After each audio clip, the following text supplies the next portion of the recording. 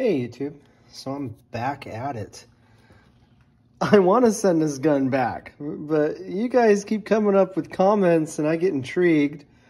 Um, let me show you something with this barrel before we get too far along with my idea, which I'm not even sure is going to work. Okay, so I had a question. How thick is the barrel? Here's a 12 millimeter open end wrench. And the barrel is just slightly less than 12 millimeter. But for all intents and purposes, it's 12 millimeters. So let's see if I can show the movement here. Okay, see that? How about this?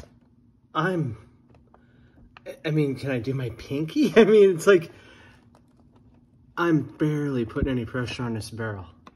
It's just a,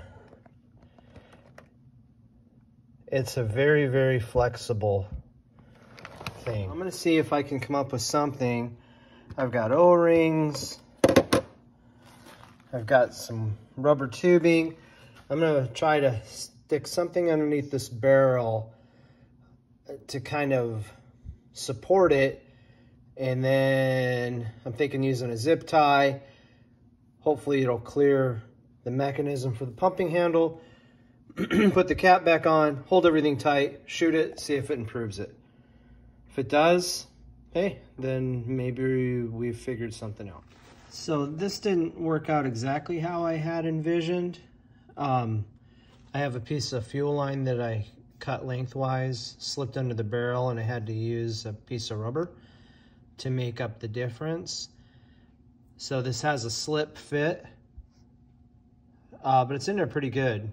You know, I can't, I'm gonna have to pull the end cap back off to slide that out, but I didn't want it so tight that, you know, it's causing a diff different problem, but my plan was to use a zip tie and just go around the air tube and hold everything together, but I can't because this the uh, linkage slides all the way up to here, back and forth, so there's no way to do it.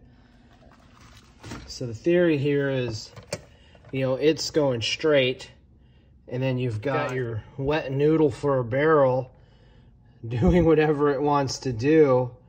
And the other thing is because the iron sights are attached to the barrel, they move with the barrel. Plus, you're not that precise with iron sights anyway. At 50 yards, I can, this, this dot is obscuring the majority of the can. Even at 35 yards, it's obscuring quite a bit of it. Anyway, let's take this thing out and uh, I'm gonna shoot a few rounds and I'm gonna use Crosman hollow points because that seemed to work pretty good in it before, at least at closer range. And I'll show you and then I'll show you the results. this is kind of funny. Um, so I'm shooting at 50 yards with the Crosman hollow points and I was actually starting to get a little bit excited because I'm like, this thing's doing all right.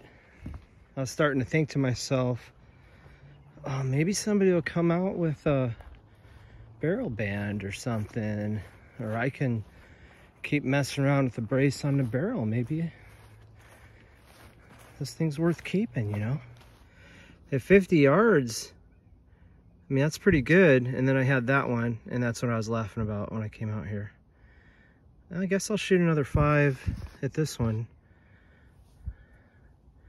Just to see. The problem is I'm, I'm maxed out, practically maxed out with my scope for windage on the left side. And I haven't even been being nice about it. I've just been grabbing a barrel and reefing it over. I'm gonna do that again. Let's see what happens. Okay guys, I kind of lost track. I think I shot around 10. Uh, let me show you the results, but first. Many Bothans died to bring us this information. This is how many mosquitoes that have landed on a table that I've killed. I'm getting swarmed by them out here. This is uh, not fun. Here we go. Let's see these results.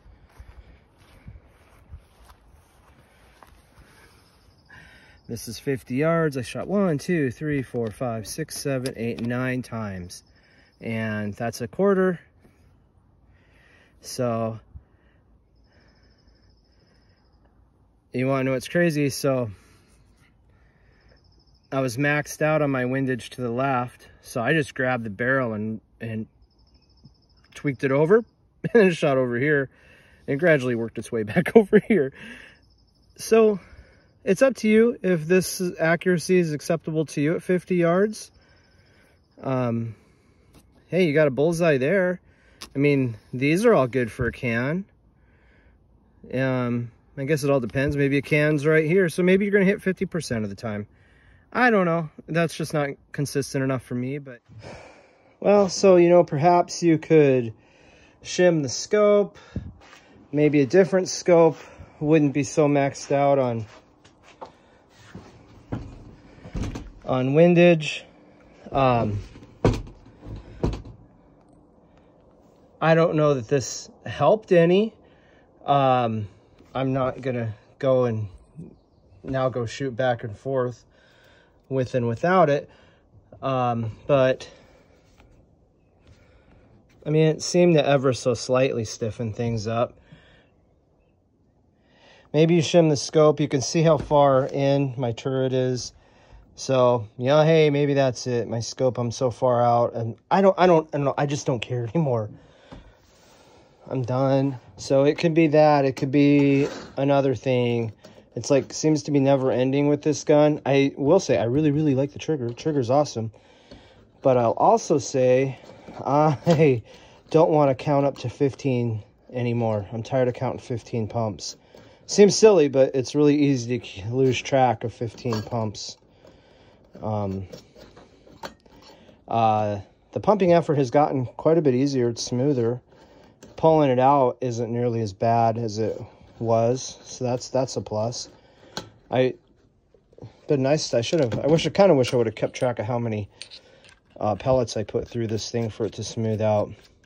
But anyway, guys, thank you for the comments. I appreciate them. They make me think, and and then I want to try stuff. Um, but uh, I don't want to try anything anymore in this. I want to move on with life. I know I've said that, what, three videos in a row now? But I'm serious this time. No more. This thing's got to go. It's a big time suck for me. And uh, I just keep thinking I'm getting mediocre results the more time I put into it. All right, guys, that's all for now. And thanks for watching. These aren't the droids you're looking for. These aren't the droids we're looking for. He can go about his business. You can go about your business. Move along. Move along. Move along.